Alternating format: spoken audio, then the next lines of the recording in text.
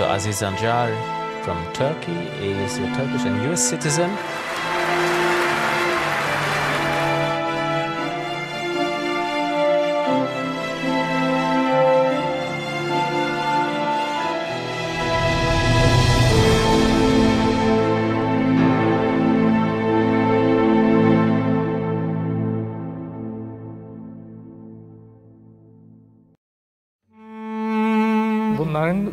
Hem e, insan olarak verdiği tatminlik var hem de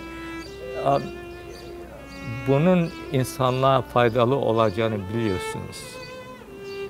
O, o, o- onu hiçbir şeyle değiş. Yani no- ben Nobel'e almasaydım bile oradaki ke- keşifler 100 bin, 100 yıl sonra yine ders kitaplarında olacak.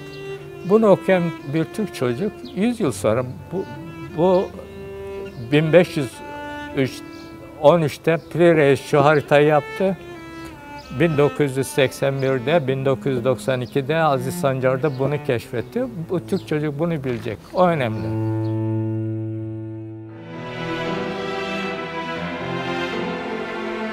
Aziz Sancar hayatını bilime adadı, bilimi hayata aktardı. İlk ödülünü Mardin'in Savur'unda gencecik bir doktorken aldı.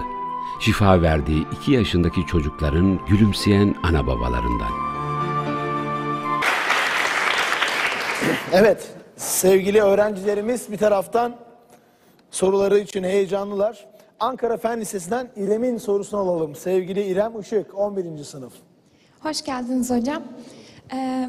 Türkiye'de bilim alanında büyük işler başarmak isteyen ve bu yolda ilerlemek isteyen gençler için iyi bir örnek yol teşkil ettiğinizi düşünüyorum. Aziz Sancar hepimiz için çok saygı duyduğumuz, yolunda ilerlemek isteyeceğimiz ve imrendiğimiz bir isim. Sormak istediğim şey şu ki, kendi deneyimlerinize dayanarak bu yola yeniden çıksam asla yapmam dediğiniz spesifik bir nokta var mı? Tekrardan başa dönseniz asla yapmayacağım dediğiniz bir şey olur mu? Ben a, tıbbiye bitirdikten sonra am, Savur'un sürgücü bıçağında S- Mardin Savur ilçesinin sürgücü bıçağında doktorluk yaptım. Ve oradaki çok insanı ilk gördüğü doktordum. Çok e, küçük çocuğun, iki yaşındaki altı aylık çocukların hayatını kurtardım. Ve o bana e, imkansız, e, sonsuz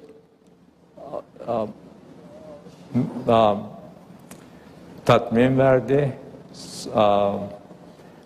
Onu tarif etmek, onu ölçmek mümkün değildir. Ondan ayrı o tabii oranın çocuğuyum. Oradaki insanlarla çok a, kaynaştım. Beni çok sevdiler. Baş, başları üstüne koydular.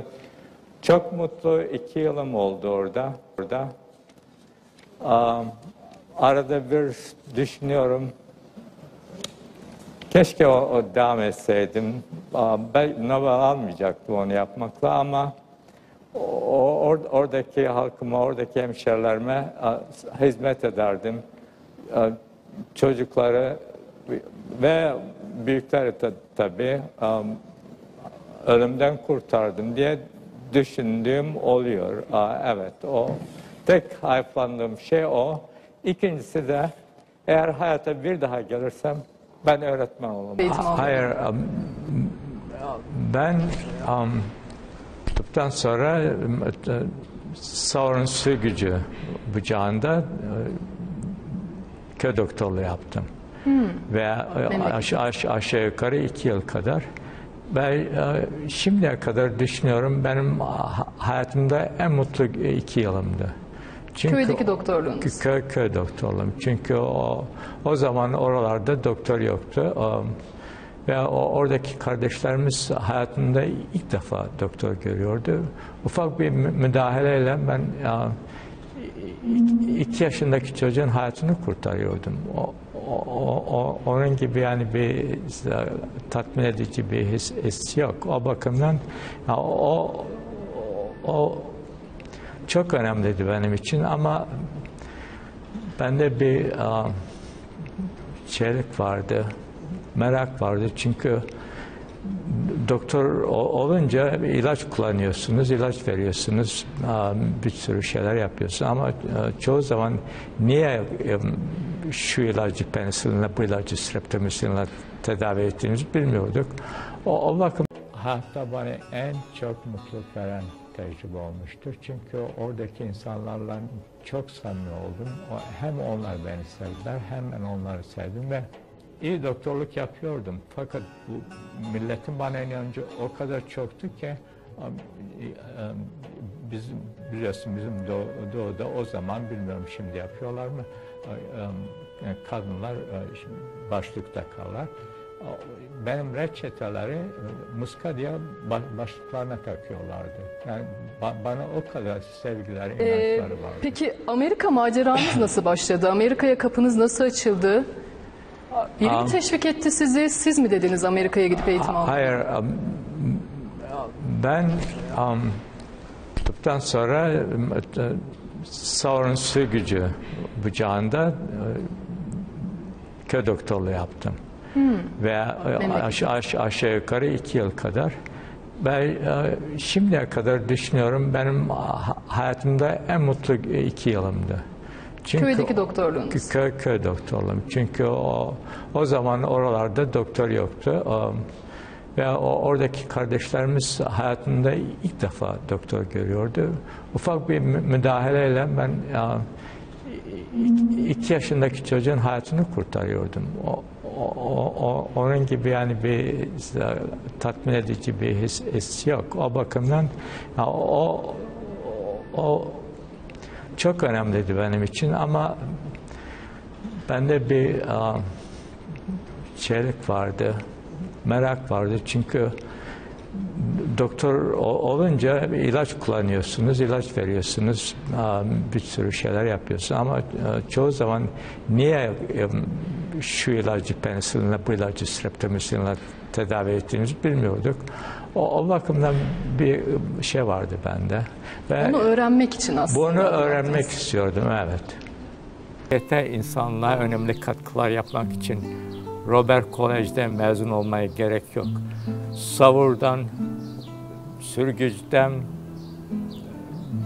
Türkiye'nin herhangi bir üniversitesinden, lisesinden mezun olup hem memlekete hem insanlığa önemli katkılar yapabilirsiniz. Bizim çocuklara güven vermemiz lazım. Yani bu çok önemli. Son ödülünü ise duayen bir bilim insanı iken DNA onarım mekanizmalarına dair buluşları ve tabii ki insanlığa katkıları nedeniyle Nobel'den aldı. İsveç kralının elinden.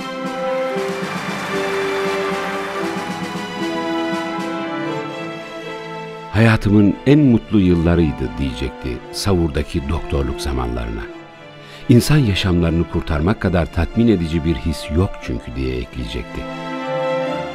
10 yıllarca emek vermesinin, laboratuvarına kapanıp iğneyle kuyu kazar gibi didinmesinin ardından aldığı Nobel zamanları içinse, yaşamımın özel günlerinden biriydi. Bilimde altın madalya kazanmak gibi diyecekti. Nobel Kimya Ödülü'ne tabii ki sevinecekti de. Haftalar, aylar boyu bilim konuşulduğu ve insanlar teşvik edildiği için, Türkiye insanını anlatma fırsatı bulduğu için, vefa duyduğu üniversitesinin adı öne çıktığı için.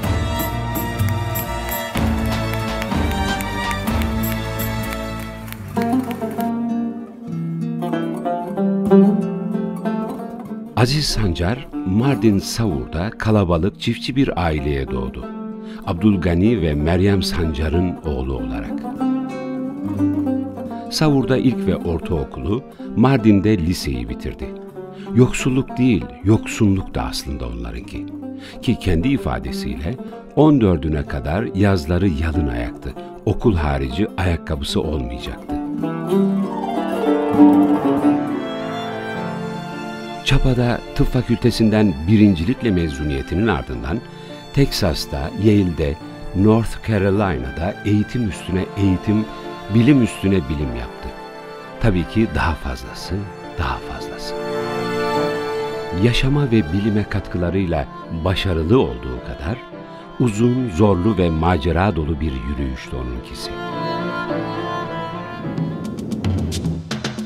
Yedisinde okuma yazma bilmeyen ana babanın kol kanat germesi, idolüm dediği ve sonraki yıllarda general olacak Kenan abisinin sonsuz desteğiyle eğitimi sevmeye başlayacaktı.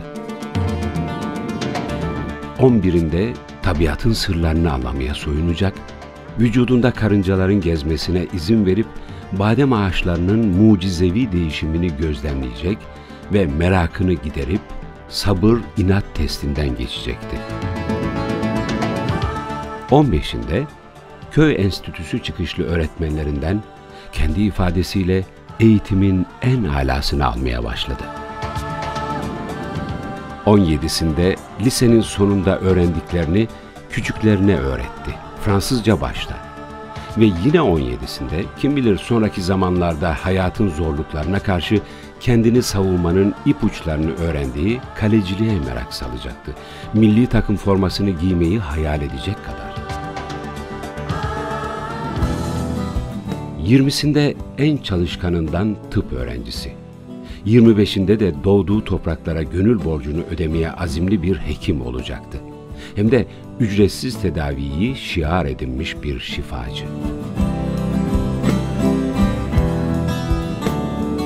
30'larına kadar Amerika'da bazen canı sıkılarak, bazen laboratuvarda yatarak ama hep sabrederek ve bilime gönül vererek zorluğun üstüne üstüne gitti.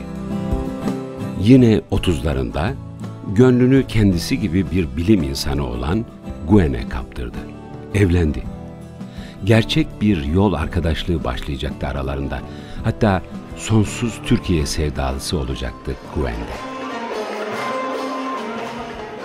Nobel'e uzanan keşfi yakalayıp da laboratuvardan eve döndüğünde ilk heyecanını karısıyla paylaşacaktı ve karıcığım bugün insanlık için önemli bir buluş yaptım. Bir ben biliyorum bir de Allah diyecekti. ...45'ine kadar makale üstüne makale yazdı Aziz Sancar, rekor kıracak kadar. 55'indeyken yıllar boyu emek verdiklerinin kayda, ders kitaplarına ve bilim tarihine geçmesinin keyfini, mutluluğunu sürdü. 60'ında doğduğu ülkenin en değerli bilim ödüllerinden birini aldı. Ödül çekine hayat arkadaşının desteğini, hatta elinde kalanları da ekleyerek Sancar Eğitim Vakfı'nı ve Türk Evi'ni kurdu. Ben gurbette zorlandım, onlar zorlanmasın dediği Türk öğrencilere bilim, özledikleri Türk kültürü ve huzur sunmak adına.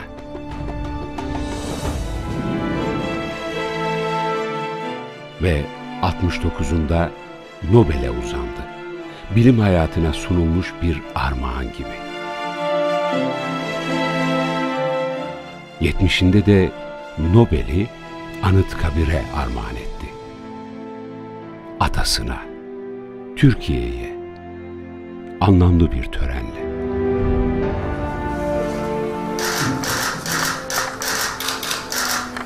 Özellikle ben de Sayın Sancar'ı gerçekten bu Nobel Kimya Ödülünü alması sebebiyle şahsın milletim adına tekrar kutluyorum, tebrik ediyorum. Ve bu madalyanın Anıtkabir'de sergilenmesini de gençliğimiz için geleceğe yönelik bir işaret fişeği olarak görüyorum. Ve daha nice Nobel ödüllerini alma noktasında inanıyorum ki bu adeta bir yol haritasını belirleme olacaktır. Çok çok teşekkür ediyorum. Sağlık, sıhhat, afiyetle geleceğinizin inşallah aydın olmasını diliyorum. Bu madalyayı buraya vermekle Atatürk'e ve Atatürk'ün sıra arkadaşlarına Türkiye Cumhuriyeti'ni kuranlara vefa borcumu ödedim. Aziz Sancar Kimileri saatlerce yürür yıldızların altında keyfe keder. O ise laboratuvar tezgahlarının ardında kaldı hep sabırla en keyiflisinden. Kimi insan tatil düşleri kurar. O ise insana dair buluş hayalleriyle yaşadı hep. Herkes cüzdanında sevdiğinin fotoğrafını taşır, o ise DNA onarım haritasını.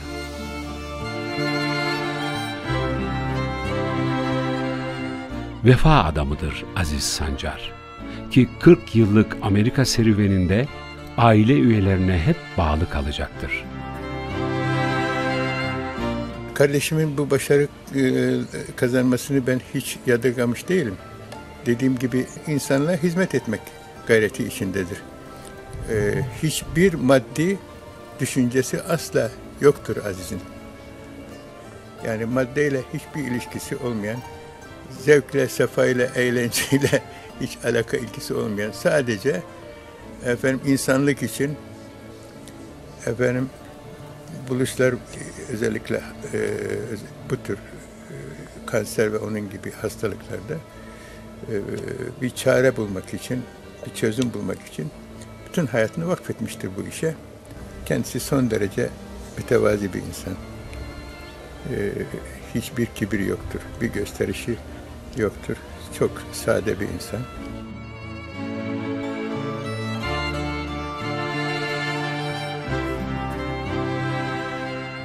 Ona Amerika üniversitelerinin kapısını açan hocası Muzaffer Aksoy'a da vefasını eksik etmeyecekti. Her fırsatta adını hatırlatarak, hocasını ziyaret ederek. Yıllar boyu bilim imkanı bulduğu Amerika'daki üniversitelerine de vefalıdır Aziz Sancar. Kendisine sonsuz özgürlük tanıdıkları için, buluşlarını keşfetmede heyecanını paylaştıkları için.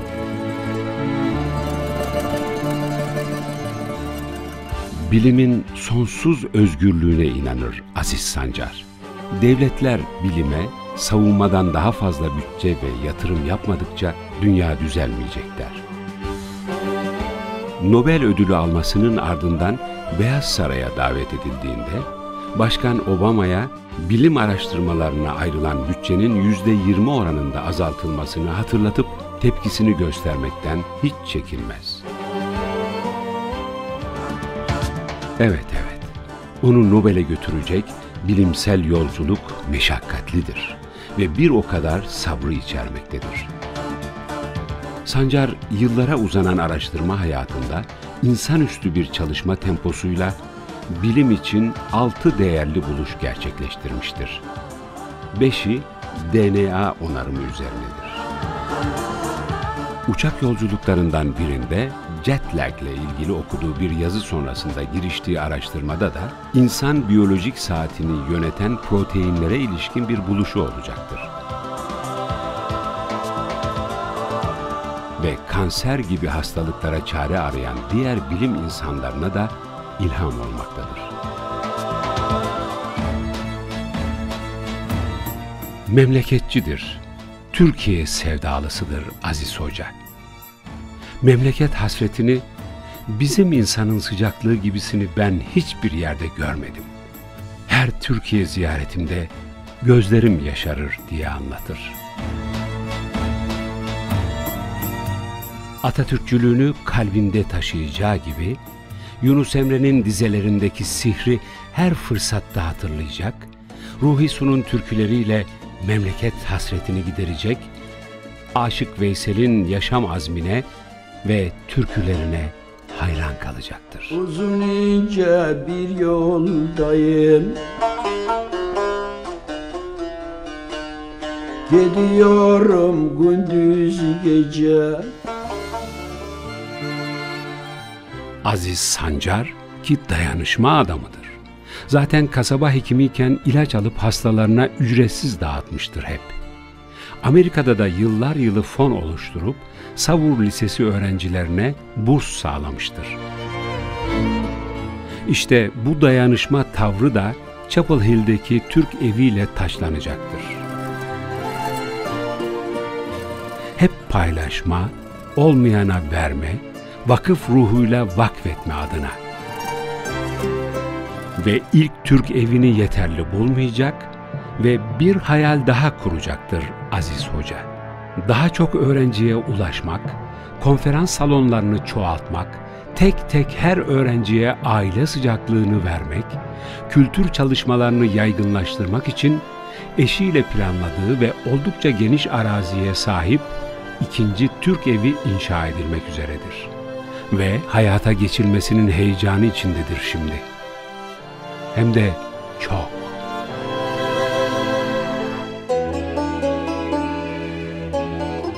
Aziz Sancar alçak gönüllüdür, derviş ruhludur, gururumuzdur.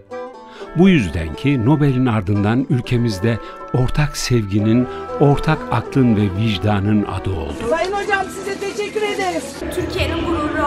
Selamun aleyk Aziz. Komşudur. Ben tanıdım seni. Ben kestim. Buraya savura getirdim. Ki büstleri yapıldı, adına pul basıldı. Türkiye'de pek çok üniversite ve eğitim birimine ismi verildi. Ve en önemlisi de bilim yapmak isteyen Türk öğrencilerinin örnek aldığı Aziz Hoca oldu.